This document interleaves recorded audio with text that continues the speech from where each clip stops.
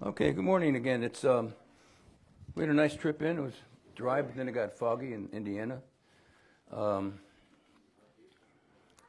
nice drive. The uh, let me start with the first uh, announcement. You remember uh, Thurston and Bonnie Miller, who came for a while? Uh, uh, Thurston Miller's mother passed away. Um, when they left, they were they've been taking care of her for the last eight or nine years or something like that. She called, you know, she went to be with the Lord, and he's got four children. Her memorial service is going to be Saturday, the 10th, at 3 p.m. at McCoy, McCoy Memorial Baptist Church. That's 134 St. Clair Avenue, Elkhart. No flowers, dress casually, no black. Okay? That's okay. Do you need that address repeated at all?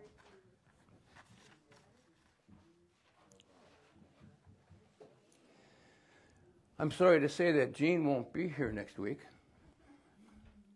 uh, next Sunday, so we'll need someone to lead the singing. A letter with the April, the, the Chicago conference dates. It's for the April meeting, or it's going to start in March. No, April 26th. Um, the show uh, April meeting it, date is on the is on the book table. It's the, called the Soldiers Training for Service Ministry Conference, and students will be able.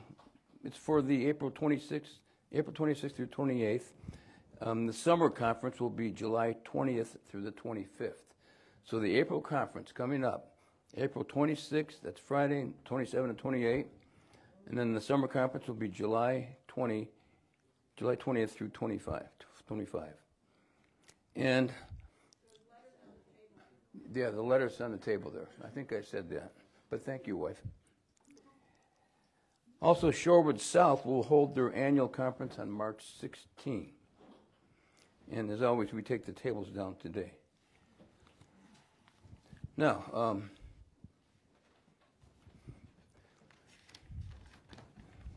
I've had a very interesting week. Now, you people all know how laid back and calm and gentle I am, right? You know that, right? Okay. Well, we've had the snow and all the melting and the rain and all that, and we have we have two sump holes in our house, and uh, there was an addition built on before we bought it in 1978. It's from our house is 100 and some years old, 103 or something like that, and in the new addition there's a sump hole but the, uh, the first sump hole in the old house is a little lower than the new house. So we didn't always need a, a, a ejector pump there because the, the, the, old one got it, but things went here. Another, the new one had all this four inch drain tile that they put around, in, you know, in additions. And uh, my wife said to me, Have you heard the, the new sump pump running uh, constantly? Or what's that noise down in the basement? And went down there, and it's the, the, uh, the new sump pump in the new edition. It's running all the time. I took and, and, and, I took it, plugged it up, plugged it up, took the plug out, and just swirling around. The water goes up, but it doesn't go down. And I'm still calm and gentle and laid back. You know, you know, I, I trust you people. What are you all laughing for? Um, I do that sometimes. So then we, uh, other things happened that I won't get into, but we, it was a Stephen Stevenson half horsepower, horsepower, horsepower pump. Is that right? Stevenson? No, not Stevenson. Okay.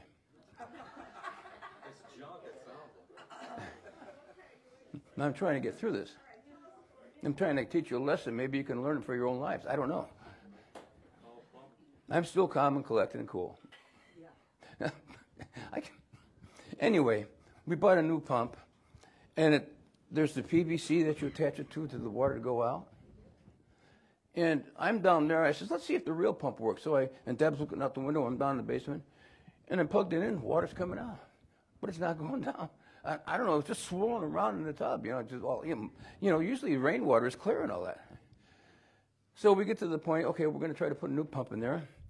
It's a it's another half horsepower pump, and there's there's uh, something the, the PVC needs to be made taller to, to match the rubber union that brings it out there, and it was a comedy of errors. I mean, you know how you do that PVC, and I measured wrong. I think the measured one, one, I put it in the wrong hole, and but then we had to do it again. And now, two times, I calmly said I quit. And I walked upstairs and I walked back down I started again I quit again. Well, I did it the third time, let's put it that way. So we got the thing working and it's now pumping water out to keep our house dry. And uh, because we stuck with it, but uh, I wasn't always calm and collected, let's put it that way.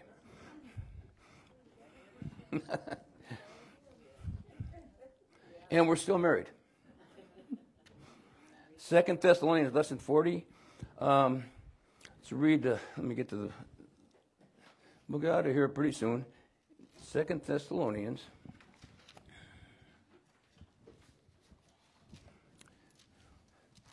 Chapter 1, verses 10 to 12.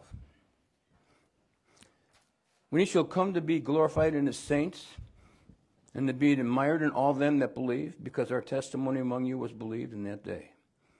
Wherefore also we pray always for you, that our God would count you worthy of this calling, and fulfill all the good pleasure of his goodness, and the work of faith with power. That the name of our Lord Jesus Christ may be glorified in you, and ye in him, according to the grace of our God and the Lord Jesus Christ. Heavenly Father, again, thank you for this time in your, in your word, and as always, just may it redound to your glory, because we're not deserving of any of it. Amen. Um, Colossians 1.16. Now we're talking about the heaven, heavenly government and the, the earthly government. 1.16 says, For by him were all things created that are in heaven and that are on earth, visible and invisible. Now these are telling you things. There's invisible things we can't see, but it's going on in that second heaven. Whether there be thrones or dominions or principalities or powers, all things were created by him and for him. Now, Sam did a good job on, on the what he talked about. When you understand grace, you understand that nobody ever comes to the Lord by their own works. Ever. It's always by faith. And he used Romans 3:30, which shows, you know, by faith and through faith. Israel, when they God told them what they needed to do, they did it. Moses was willing to kill his own son, right? And then the angel stayed his hand. God wanted to see if he'd be willing to do it. Abraham, sorry. Yeah, Abraham. God stopped his hand. They found a ram in the thicket. And, but nobody. So when people, what they do, they forget verse 30 and they go to 31. See, you got to support the law. But what does verse 19 and 20 say in Romans 3? For by the law is the knowledge of sin. It shows you that you're a sinner. There's no work anybody can do everywhere, anywhere, that can get you to get you to be in favor with the Lord. Nowhere. And that's one of the big understandings of dispensationalism. Because they come to that passage and they go to the last two verses and they don't understand that. Because in James it says you got to work, right? Well, that's the way God, that was the dispensation of the law, said you had to do this to get that. And we know that early on in Exodus 19, God, uh, the, Moses said to the people, you know, they said everything the Lord, everything the Lord wants, we're going to do. But you know, they failed the five tests of the wilderness before that. And they said, okay, that's the biggest mistake ever since Genesis, you know, uh, Genesis 3. And we're going to do it. And all through Scripture, you read about something called the work of their hands. And they think that the work of their hands is something that, you know, they can do and they can become more righteous before God. But nobody's righteous except in the Lord. It's His righteousness, it's His glory, it's His power, it's His works, it's His world, it's His work, it, you know, it's His visible and invisible dominions. It's His. We did nothing to create it. We, can do, we can't do anything to keep it going. It's up to Him. Nothing's left to us except for faith in something that's important. Now, as I told you before, Debbie and I didn't know this for quite a while, and um, well, that's when we got saved there. Um, they were created for his reigning, to accomplish his will, to execute his purposes in his creation. He had a reason for the creation, And he created these governmental authorities to carry on his business in earth and in the heavens. Colossians 1:17 says he is before all things and by him all things consist. This is a doctrinal issue. Everything in his universe is dependent upon his purpose. It is very clear that he is before all things. And let me give you a little Bible history here.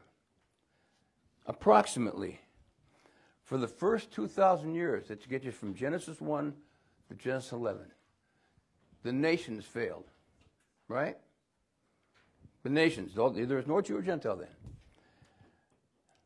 The next 2,000 years, the rise and fall of the nations starts with Genesis 12 and ends in Acts 8 with the killing of Stephen.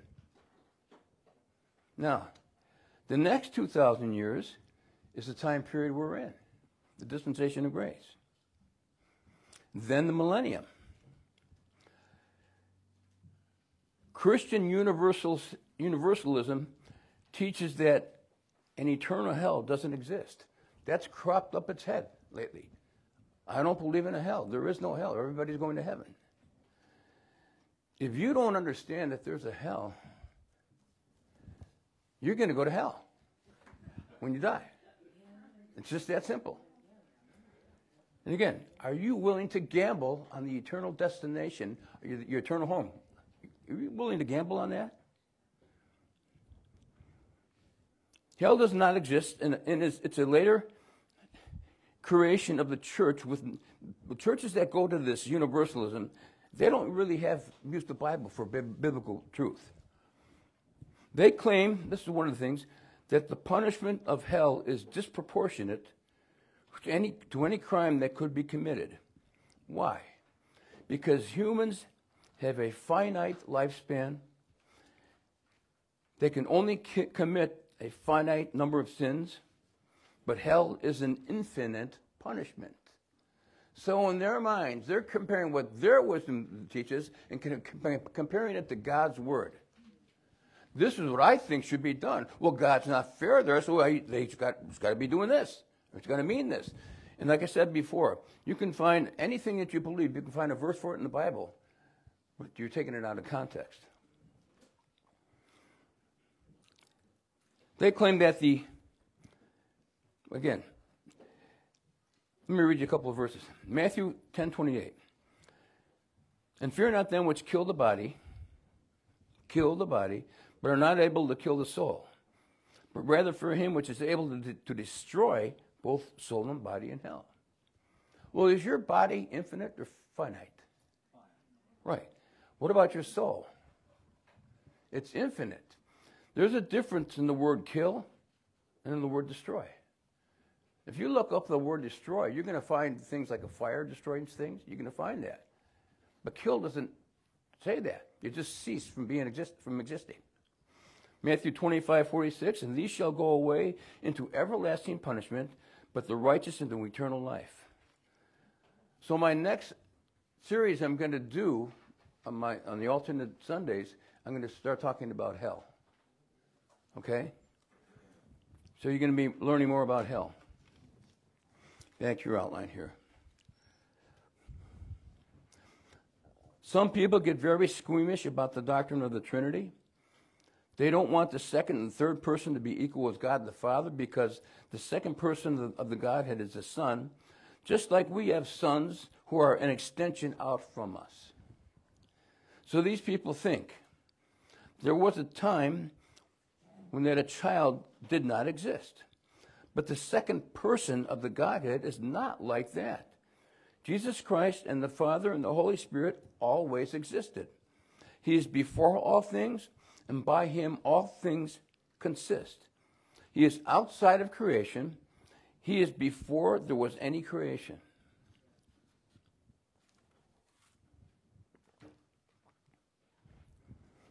Paul wasn't trying to teach the deity of Christ in Colossians there, but you don't want to miss the fact that it is there. Colossians 1 18 and 19. And he is the head of the body, the church, who is the beginning, the firstborn from the dead, that in all things he might have preeminence. For it pleased the Father that in all that in him should all, all the fullness dwell. The key here is it's just not the things on earth, but the things that are in heaven. And this is Pauline truth. The all things that Israel can't touch are the things in the heavens, the angelic realm. In 2 Thessalonians 1:10. Let me read it again. When he shall come to be glorified in all the saints and to be admired in all them that believe, because our testimony among you was believed in that way, that day. Second Thessalonians is when the Lord comes to take up that reigning. We'll be raptured before that. The, us, the church, the body of Christ. When he comes to be glorified in his saints and to be admired in them that all, that, I'm sorry, when he comes to be glorified in the saints and to be admired in them that, that believe that day, the Thessalonians will be a partaker, just like you and I will be a partaker of that, because this added testimony was believed. So the issue has to do with our additional, with this additional agency that Paul's testimony adds to the doctrine and ministry. Paul wrote 13 of the 27 New Testament books. That's half. Without Paul's ministry, Jesus Christ would not be admired in all those positions. I can stand here and say, I fully believe this. There's nothing anything can do in, and of ourselves to get any credit with God. Everything, the glory and all, you know, people, I think I walked in that house one time, they had Second Timothy from the King James on a wall when you walk in, but they were full of prayers. I had to go out and pray and be holy to God. I'll be more clean. Don't touch me if I get through. You know, once I get through a prayer and I've got a clean, clean body inside and out. They have all these weird things that man's mind or man's wisdom comes up with. And you're every turn of the, of the page, every turn of the street, you're going to have a religion battling you, especially inside your own body, for things you might have believed in the past, or maybe think, you know. So this universalism is coming on, and it's, and it's wreaking havoc in, in some places. Some good preachers have gone to universalism, that there's no hell. Maybe I'm just dumb. I got my feet stuck in the mud, and I'm not going to move anywhere because this is truth, you know. I got we got the sump pump to work. You know, there was a couple times when I was frustrated. I walked, but then walked back in, got it done. But there is an issue of what we do now, and our conduct now affects the admiration that he gains through us. So that means anybody who's in a religion that thinks works is, is going to get you righteousness, anything even close to that smell is wrong. And most of Christendom, D-U-M-B, being facetious, is, is, is in that camp. Why do you think it's easy for me to say to people, you know, when you learn this, nobody's going to really like you. Galatians 4.16, am I therefore become your enemy? Because, you know, this, you know, am I therefore become your enemy by telling you this? Second Thessalonians 1, verses 11 and 12. Wherefore also we pray always for you, that our God would count you worthy of this calling, and fulfill all the good pleasure of his goodness, and the work of faith with power. Now, again, there's a verse that people could take out of context and say, look, at faith gives me power. And that sets me apart from everybody else. No, everybody's humble. Everybody's deserving of sin. I mean, deserving of hell, I'm sorry. Everybody has sinned. There's nothing you can do. That's why the Bible was written the way it was written. It's not like a child's book. You have, you know, but the, the, the power is in His Word, and it works in you inside to get the things done. That the name of our Lord Jesus Christ may be glorified in you and ye in Him, according to the grace of our God and the Lord Jesus Christ. When you approve of something, you count it worthy. Ephesians 1:18 says, "The hope of his calling." Ephesians 4 1 says that ye might walk worthy of the vocation wherewith ye are called. Our calling is not really us, it's His calling. One of the songs I did on my tape, there's a song, the last song on the tape, I, put, there's a line, He forgave me, saved me, sealed me, then He called me. So three things come before a call. To be called today is to understand the words of God and start doing that. He forgave me, saved me, sealed me. Now, I have a vocation if I want. Okay? It is why the Lord chose to form the church, the body of Christ. This calling is not salvation. Forgiven, saved, sealed. Now the calling. And it's the Lord's calling. You are never going to be worthy of salvation in and of yourself, in and of anything that you do or make or create. Now, oh, sorry, it happens when you get saved. It's what happens when you get saved. When you trust Christ, you are put into the body of Christ. In Christ, you have a calling. Now, you are predestinated, not before that. You have to get saved. You have to believe. No works are involved in that. It's just what you have going on inside of you. Look at Ephesians chapter 1, verse 5. Now, predestinated is used four times in your Bible in Paul. Ephesians 1 5 says, having predestinated us unto the adoption of children by Jesus Christ to himself according to the good pleasure of his will. My wife is adopted. I've told you that before.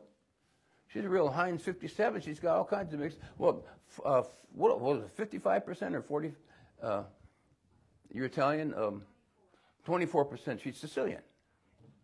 You know, I've always been a sucker for uh, dark hair and dark eyes. She's got dark hair and dark eyes. That's a fleshly thing. But we're adopted. She's adopted. And, you know, when you get adopted by people, they love you, they take care of you. In, in Ephesians chapter, uh, look at verse 11, I'm sorry, in whom also we have obtained an inheritance, being predestinated according to the purpose of him who worketh all things after the counsel of his own will. What's God's purpose today? Who have all men to be saved and to come to the knowledge of the truth. Forgave me, saved me, sealed me, then he called me. Get saved and then get called. So we're adopted.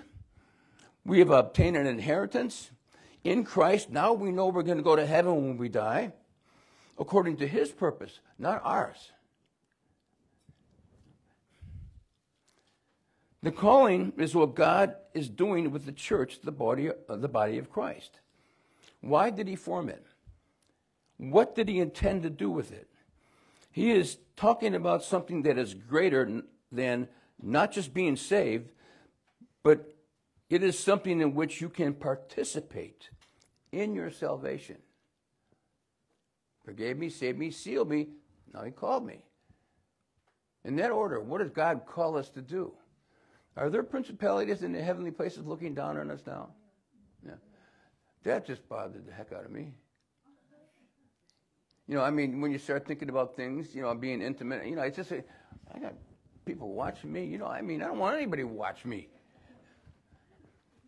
because I'm not perfect.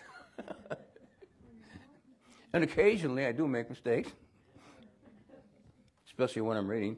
Um, Ephesians 2 7.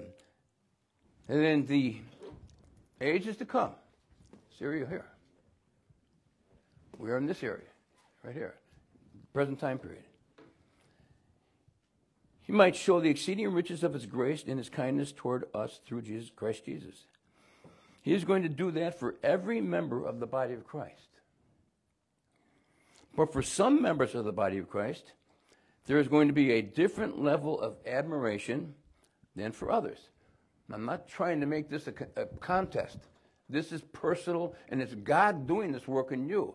Some people are going to get a little farther than it, and some people less, but we're all going to be saved. Okay? 1 Corinthians 3 talks about it, says that. And we have learned that this depends on our understanding of Pauline truth. Actually, the whole Bible. God's last message for mankind. Boy, does that get people upset. Am I therefore become your enemy because I tell you the truth? You don't want to hear the truth? Okay. We know that we are not going to face our sins at the judgment seat of Christ because the cross took them away. The cross takes care of sin, the guilt, and the failure and the payment for everything, as the following verse explains. Romans 5:19 for as by one man's disobedience many were made sinners so by the obedience of all shall many be made righteous righteous folks it's his obedience not mine once you trust him now now now you're righteous forgave me saved me sealed me and he called me it's his obedience that makes me righteous because anytime we do anything that's any good, it's because of God's word in us, and we're. Well, that's why I came back two times to do the finish the Sumpo thing. Okay, but I, was, you know, I'm just fed up with it. You're getting in this small place. I'm 73 years old. I can I need three points to get up now because one of my knees is, you know, and you got all these pains and aches and you know, moving here, and it's a real cramped space. Am I going to be down there singing and whistling like I'm happy? No, I was mad at the sump pump and sump pump. I can be mad at that. But we got it done. got done. Now this is in the sense of Philippians 3:14. Here's what Paul says. Paul, our apostle who saw the Lord. I press toward the mark for the prize of the high calling of God in Christ Jesus. He knew he wasn't perfect. We should know that too. Last week we talked about being prototypes. Here's a pre picture of the reality that comes later. In Leviticus, when the priest looked at the sacrifice, he never looked at the person who brought the sacrifice.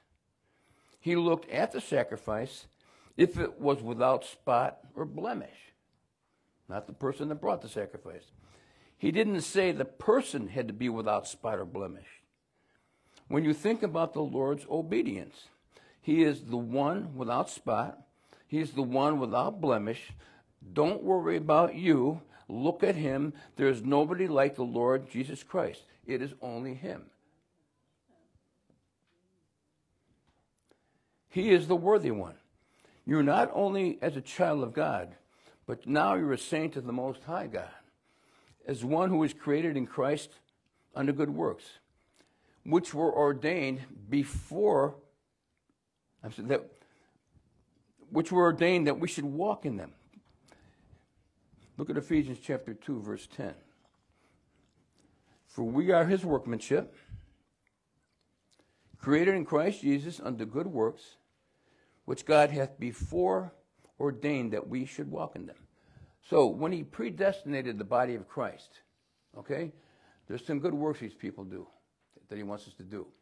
So, it's like the, the, the, train. If you want to get from Chicago to New York in a train, how do you get there? You buy the ticket. If you want to go to heaven, what do you do? You trust in the Lord, not in yourself or your own works. It's that simple or that, that hard, depending on how you want to make it. Here's the purpose God has for the body of Christ. Philippians 1 9, 9, 129. For unto you it is given in the behalf of Christ not only to believe on him, but also to suffer for his sake now, if I'm being truthful and I'm like standing in a confession here, I'm confessing to all you guys, I wasn't real happy yesterday. I didn't feel real good being down there, bent over, my knees are on concrete and all that, you know, and, you know, but we got the job done. And we're still married. Praise the Lord. Philippians 3.10 says, that I may know him and the power of his resurrection and the fellowship of his sufferings. So after the job was done, and after all that pain, I'm thinking, what's this pain later on? Feeling a little guilty. What's his pain compared to what the Lord went through? I mean, you know, he was sweating blood. You know, it's, it's you, you put it like that, it kind of makes everything just, you know, it puts in the, in the proper perspective, I guess. You learn an intimacy with the Lord and an appreciation of His grace. God's redemption at Christ's expense. 1 Timothy 4, verses 6 through 7. If thou put the brethren in remembrance of these things, thou shalt be a good minister of Jesus Christ, nourished up in the words of faith and of good doctrine, whereunto thou hast attained. Okay? You, you, you want to be on an incline level learning God's word to help with your own self, your own inner man, your own struggles, your own anger at a sump hole. You know what I mean? You, you want that. But refuse profane and old wives' tales, fables, and exercise thyself rather unto godliness. All this religion, religious mumbo jumbo out there, let it come in one ear and not the other. Now, Sam went to Leviticus 12. Let's go there again. Let me read you verses 1 to 4.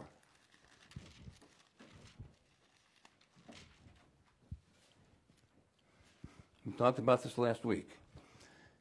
And the Lord spake unto Moses, saying, Speak unto the children of Israel, saying, If a woman have conceived, conceived seed and born a man child, then shall then she shall be unclean seven days, according to the days of the separation for her infirmity shall she be unclean. And the eighth day of the flesh, and in the eighth day of eighth day, the flesh of his foreskin shall be circumcised. And she shall then continue in the blood of her purifying three and thirty days. She shall touch no hollow thing, nor come into the sanctuary until the days of her purifying be fulfilled. So, seven, again, last year, I, last week I said, think each day is a thousand years. Seven in the Bible is a timing in creation. Seven is the number of perfection in regard to the timing of things, the accomplishing and maturing of something. And 12 is the number of the nation of Israel, is the number of the governing of his creation, the, div- the division of it. There are seven days in creation. God created the heaven and the earth in six days, and in the seventh day he rested. When you get to Leviticus, God will take and move the seven days to seven weeks. Well, so, you got to think about this. In, in, in Matthew, um, Christ talks to the, to the to the priest and all that for the first 12 chapters. And finally, he got to a point where he says, I'm done with these guys. I'm going to start speaking, speaking in parables. And he did. So you get to Matthew, there's seven parables in Matthew. The first four are out of the house of Israel, the next three are in the house. So you have a separation of seven, four and three. The first 2,000 years in the Bible you can see approximately from Genesis 1 through 11. The next 2,000 years, from Genesis 12 through Acts 8, when Stephen got killed. The next 2,000 years, almost, is the dispensation of grace. Now, if you go with the Bible numbering, and I'm not, you know, people do try to think, well, when's the rapture going to happen? Well, in my Bible, it says that a term, so creation began in, in, in the year uh, 4004 something like that. Pardon me? BC, yeah, brother BC. And then, how can I put that? When you get when you, you go through the four thousand years, you got the, you know the before ch- uh, chapter eleven and then after chapter twelve, you got another two thousand years. Then when you come to, to, to to Jesus Christ, it says that he was born in 4 BC. Okay?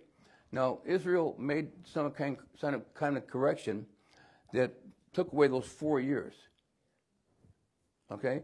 So I'm going to go from 4,000 then, then to the, you know, the, the next thing, the next time period that we have right now is a time period where we are in, and from 34 AD, or 30 AD, count the years, the 2,000 years would end in 2030 or 2034. Now, am I going to write a book about the rapture of the body of Christ? that says that, even though those are the exact. I don't know if the, the numbers are, are exact, they're true or not. Their calendars are screwed up all over the place, you know. But we know it's going to happen. And we know that we are in a winter time period in the world, the entire world, which major wars happen, not just things like Korea or Vietnam. It's, it's a major thing. And things change after a winter season and war. What's our defense for that? How should we prepare for that? Are we busily buying guns and ammunition and stocking up? You know, a guy throw a grenade in your house, he can take you out right away. They got bigger guns, bigger, more people, and this and that. Should we have some protection? I said, I think so. What should be our concentration? What should we be thinking about? Instead of getting all hyped up about what's going on, where you see these evil forces at work. In Genesis 1 to 11, Enoch was found righteous in the eyes of God, Genesis 5. And then he found Moses, Noah, I'm sorry, Moses, Noah righteous, and his, and his wife and, and three sons and their daughters. There's verses in there that said Canaan, or Ham, his son, I mean Ham, had saw his father's skirt. Now, there's some thinking that he might have had relations with her, maybe forcefully. Okay? So God says to, to, to Noah, you're, you're a righteous guy. I want you to take this you know, next 120 years, build the ark, you know, make it like a box so it doesn't sink, and everybody else is going to be killed, except the angelic spirits. It's always an attack on the seed line. What did the angels do in Genesis 6? They went into women, all right? They made these giants, these, these creatures, infecting the seed line. And so the seven weeks in, in this is how you get to Pentecost. So we start the seven days. Then you have the seven weeks. Seven times seven equals 45 day, 49 days. Going to the Feast of Pentecost on the 50th day. Then you have the seven months, which is the Feast of Trumpets, Atonement, and Tabernacles. All in the seventh month. Now I know this is, this is hard stuff, but trumpets equal the ga- regathering of Israel. Atonement is the second coming. Romans 5:11 says we now have the atonement.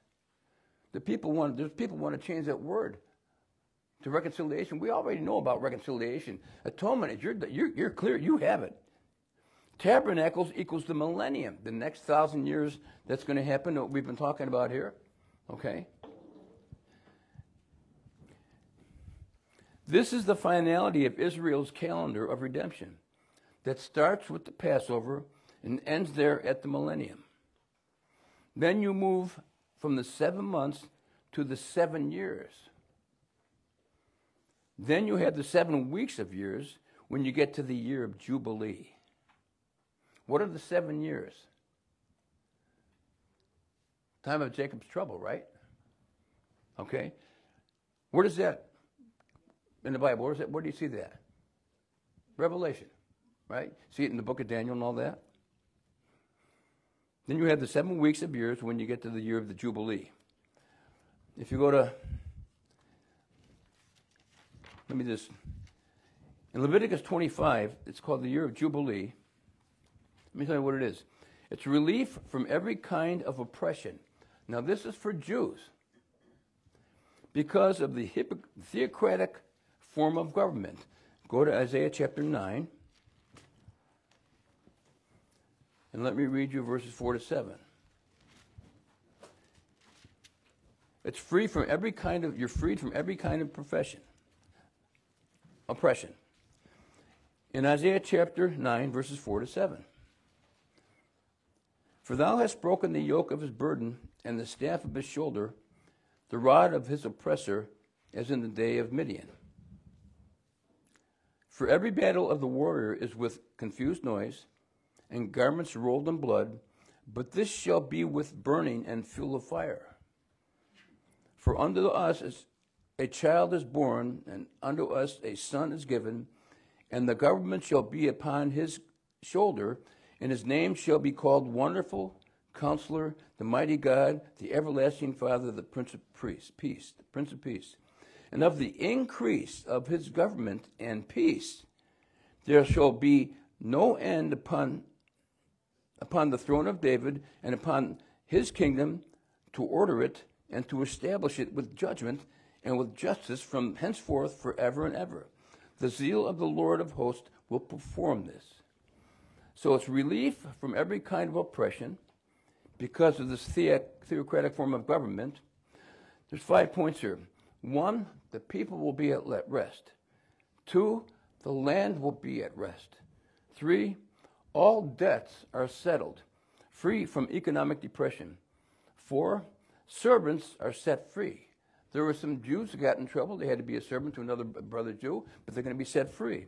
And five, God is the provider of all what Israel needs. And where is our Jubilee today? Anybody have a thought? Where, where is that? Colossians 2.10, and ye are complete in him, which is the head of all principality and power. That's our Jubilee. We're going to be free from all the pressure from living in these bodies down here, from getting mad at the sump pump. You know, it's, it's, we're going to be free from that. And that's going to be something. So the sevens are constantly working throughout God's orderly system. Okay? In the last seventh day, the millennial kingdom turns out to have a time period involved, just a thousand years. Then you realize 2 Peter 3 8. That one day is with the Lord as a thousand years, and a thousand years as one day. And now you are you see the connection with the prototype, which shows the connection between the Old Testament and the New Testament. Somebody that my wife talked to before, she knew in school. Debbie had a Bible study for a while at her house for women, and, and she, she mentioned this connection between the Old Testament and New Testament. And uh, this girl didn't didn't like to hear that. She didn't believe it. But then recently, when she was talking to another friend, she said, I think Debbie was correct. I said, well, it was the word of, word of God that was correct. But she, she heard or something or saw something. She, she now sees a connection. So that, you know, when you talk about the Jubilee with Israel, how many people know about the Jubilee? And it's only one E at the end, okay? Just six letters. How many people, how many Christians know about that? And then if, if, if you have something, you know, we've been talking about there's things in heaven that are like the things on earth. There's a lot of things in the same. You know, Where's our Jubilee? It's in Christ. It's not in anything we do. He wants us to do things. He wants us to do things that make him proud. We're not always going to do it, but he wants that from our, from our behavior. He wants us to press toward the mark on that. Every dispensation has a transition into it. From Adam to Moses, if you go back to the dispensation of promise, it began with Adam the dispensation of promise had a transition into it. They were in the Garden of Eden first, then they sinned, and then you go into the dispensation of promise with the seed of woman, and then Cain and Abel, and so forth. Cain had two wives. Did the Lord ever say to get multiple wives? Never said that. From Moses to Christ, you come to Moses and you move into the dispensation of the law. Right here. The Gospels. Okay? And all the way from back there. The law does not start in Genesis, it starts in Exodus. Technically, the law covenant does not come into effect until Exodus 24 when they sprinkled the blood on the book. But they make a covenant agreement in Exodus 19. They had been out of Egypt for weeks this is when we're leaving Egypt. They come out of Egypt in Exodus 14. Then they go into the wilderness in Exodus 15. Then they go to Marah, that's the water, and have, a, and have bitter water, which is their first test in the wilderness. Do you remember what God says? I mean, it was bitter water. They, they were saying, why can't God make clear water for us? And Exodus 15, 26, it says, and said, If thou wilt diligently hearken to the voice of the Lord. This is, you know, Moses saying this, and will do that which is right in his sight, and will give ear to his commandments, and keep all his 613 statutes, and will do that which is upon thee, which I brought upon the Egyptians, for I am the Lord that healeth thee. But when they did, they get. But when when did they get the commandments? They don't get the commandments until the Lord gives them the law in Exodus 20. He's saying this in Exodus 19. He's just tested tested them. There's five trials in, in, the, in Exodus uh, 15, 16, 17, and, and he tests them, and they fail each test because they're not trusting in Jehovah. They're trusting in themselves or what they think should be done. These waters shouldn't be this way. How come the Lord did this? They weren't trusting in the Lord. The Lord took a tree and threw it in the water, and they were able to drink it.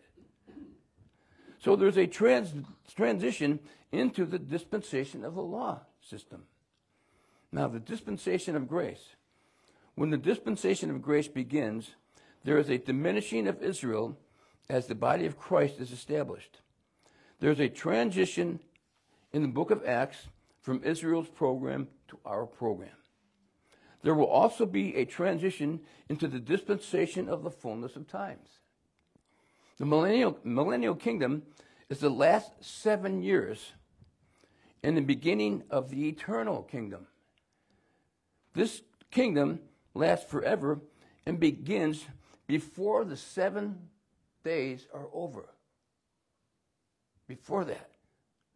Because in that kingdom, the psalmist says, The Lord shall send the rod of thy strength out of Zion, rule thou in the midst of thine enemies. Psalm 110, verse 2. Revelation 2.27 says, And he shall rule them with the rod of iron. Look at that connection. Psalm 110 to Revelation 2. Okay? During that millennial kingdom, not everybody's going to be a Lord lover. They're going to be against the Lord. Okay? So rule thou with the rod iron, and yet have enemy in, and yet have enemies in the camp. After the millennium, the eighth day. Remember, eight is the number of a new beginning. The dispensation of the the eighth day begins. The dispensation in the fullness of times. All enemies are destroyed. Death, Satan, and all enemies will be cast into the lake of fire. They will be gone. Satan is locked up in hell during the millennium, then comes out for the final battle of Armageddon. It's Revelation 16. Revelation 17 14 says, These shall make war with the Lamb, and the Lamb shall overcome them. For he is Lord of lords and King of, King of kings, and they that are with him are called and chosen and faithful. So death, sin, destruction, rebellion, and everybody associated will face the great white throne judgment. Only saved people, the body of Christ, Israel, and the nations, not ones aligned with Satan, get to be associated with the Lord for eternity in a good way. So the thousand years are a transition. But it is important to see it is the last of the seven years, then the cutting off of all that offended goes to perdition, and all of sin is over with. So, in the eighth, the eighth day, there is a circumcision, the removal of human effort, human contamination. Ishmael is completely gone, and only God's program exists. So there is the pattern, the prototype, and the typology.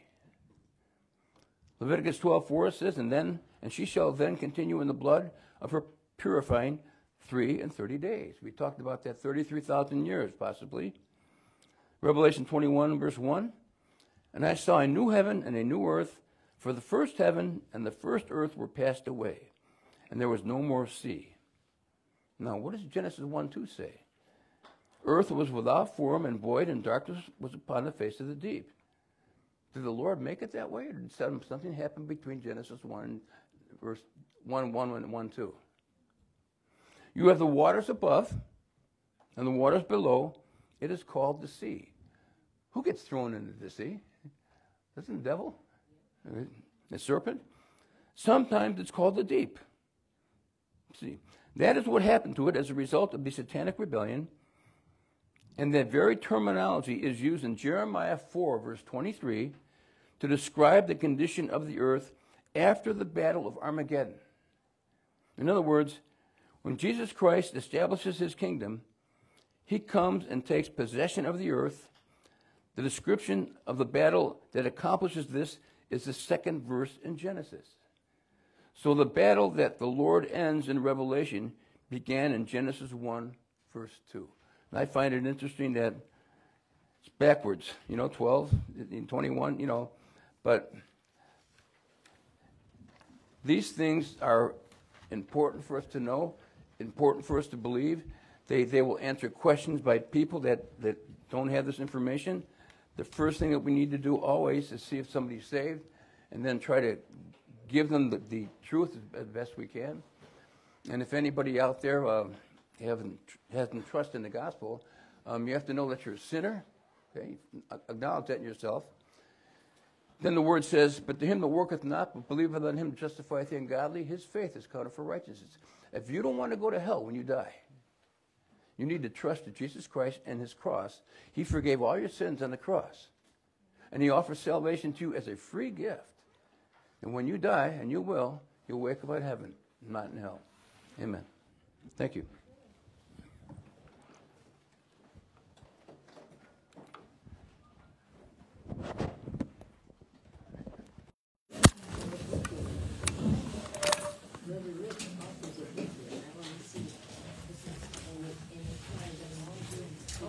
We're gonna close with page four. His name is wonderful.